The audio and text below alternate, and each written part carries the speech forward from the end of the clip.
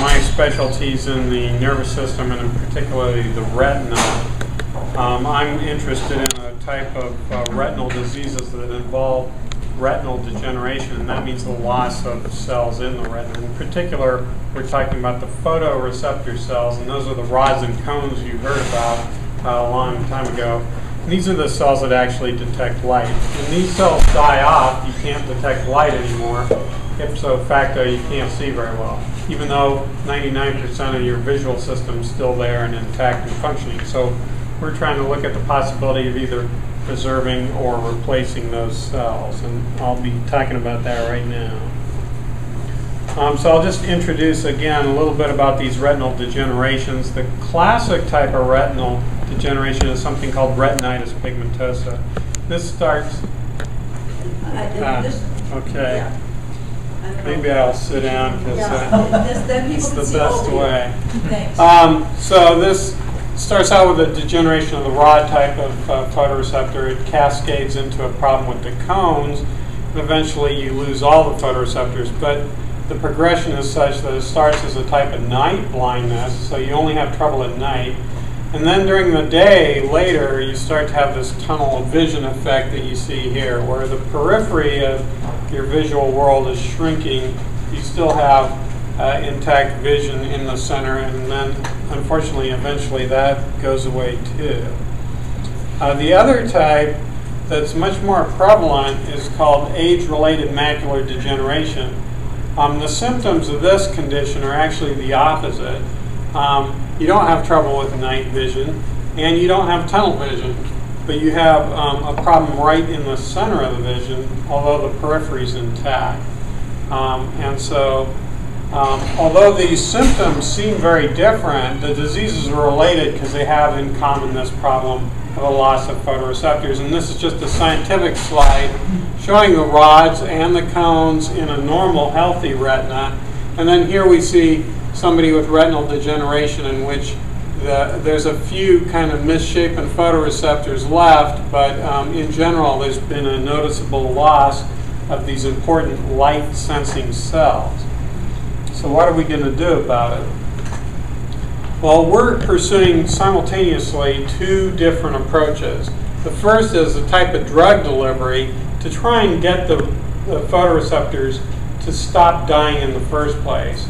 Um, because the reason for their death is a little mysterious. They don't have an actual metabolic problem that forces them to die. They're actually told to die and they just obey. If we can jam that signal, we say, oh, you're getting the wrong message. You should actually survive. We think it would be better if you survived.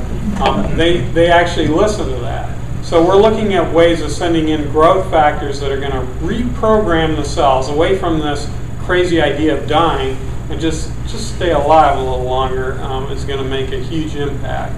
Um, and one way to do that is uh, microspheres that deliver growth factors. Another way is we can actually modify stem cells to deliver growth factors as well.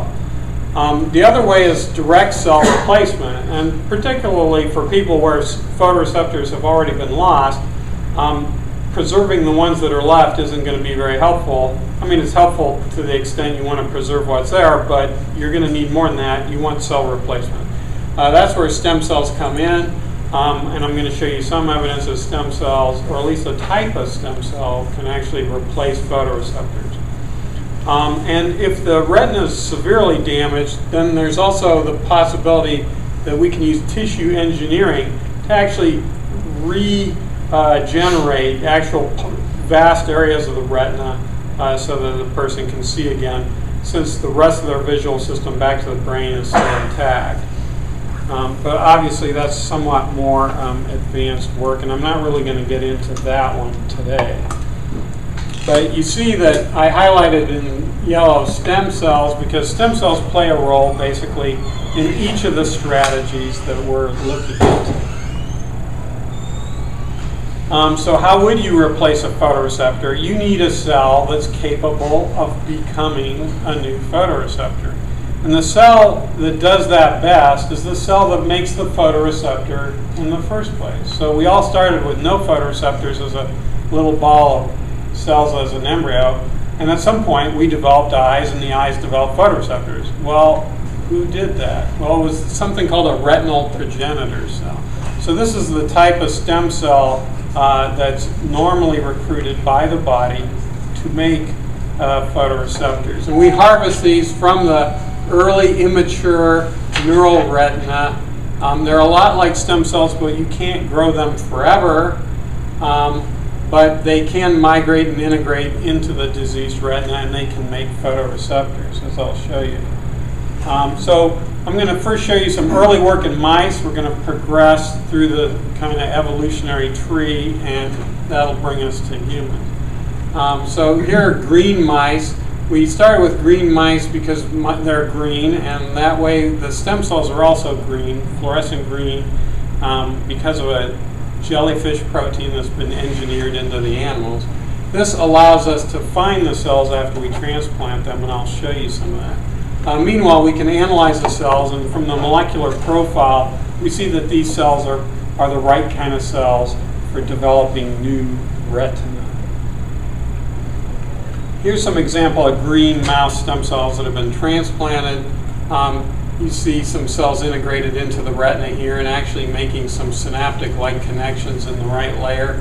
Here's a photoreceptor-like cell. It looks very much like a rod. Here where you see a clump of rod-like photoreceptors, and the red points are actually synapses that they're making in the host mouse retina. So it looks like they're making cells in the right place. Um, we wanted to know if they functioned, and we put our transplanted mice onto a running wheel test to see if they could detect light. Um, and I'll just, we're a little short on time, but we showed that the transplants actually um, in blue had increased light sensitivity compared to um, the, the diseased blind mice. In this case, a higher bar is a worse effect. So it's kind of backwards, makes it hard to understand, but this is what blind mice look like. Here's transplant mice are better than that and the fairly normal mice are even better.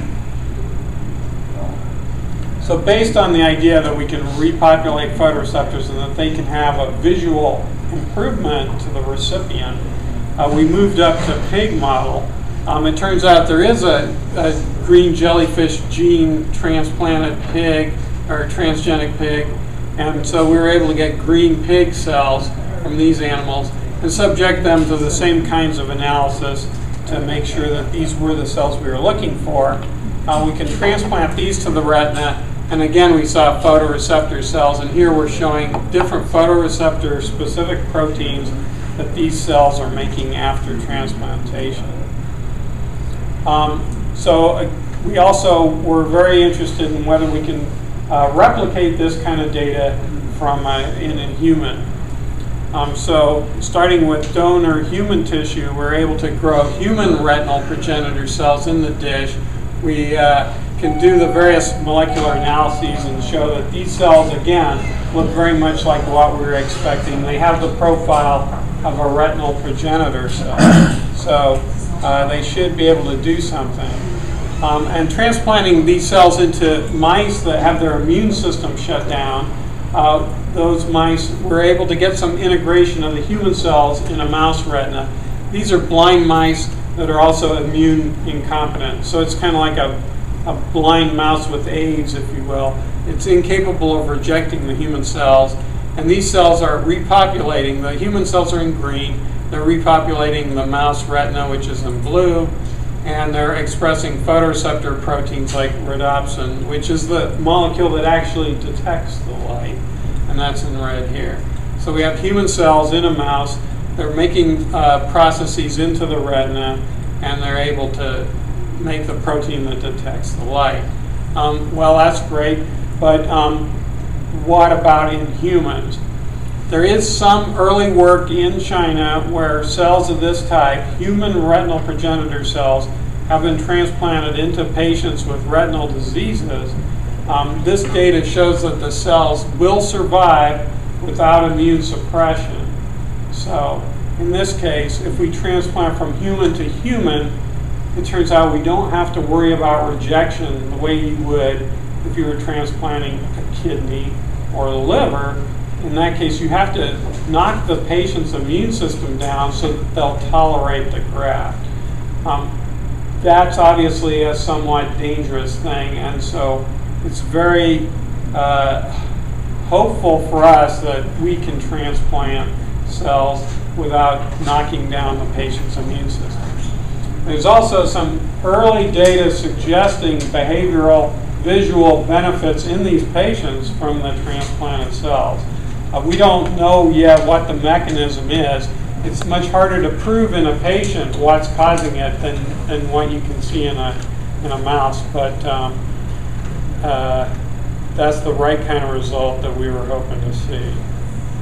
Um, so again, the targeted diseases are mainly the retinal degenerations, retinitis pigmentosa, and age-related macular degeneration.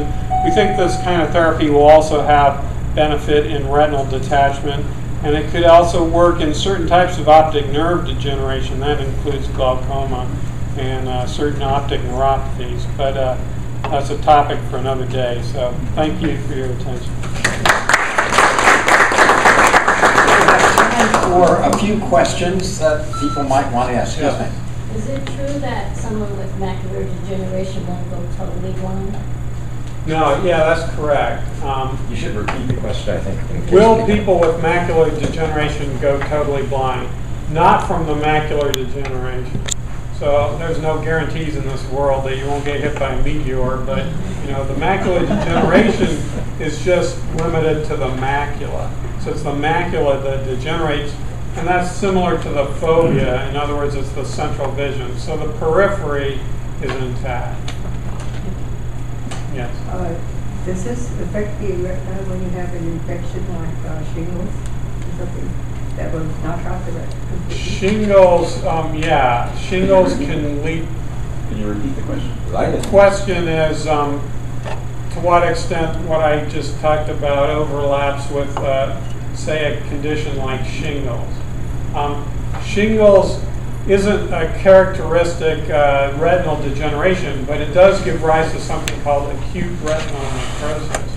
And in that case, the retina degenerates. It's not just the photoreceptors, but it's quite a few cells within the retina. You can even get a retinal hole and a detachment. Um, so anywhere you have cells dying in the retina, this is a potential therapeutic uh, intervention. Obviously, the more damage is done, the, the higher the bar in terms of getting a beneficial effect. And an acute retinal necrosis is pretty nasty. But I think depending on how extensive it was, um, there's, a, there's room for potential benefit. It, it might be a case for the, the tissue engineering. I think this was first. How, how long might be before human uh, testing in the United States? United States. Well, so fortunately, we're getting some data out of China already. Um, human testing in the U.S. It's, it's really going to depend on two things: uh, FDA approval and the funding necessary to give the FDA what they want to give approval. Um, and that's a long way of saying I don't know. but I, I, think, I think it's something that uh, deserves uh, to be put on the front burner instead of the back burner.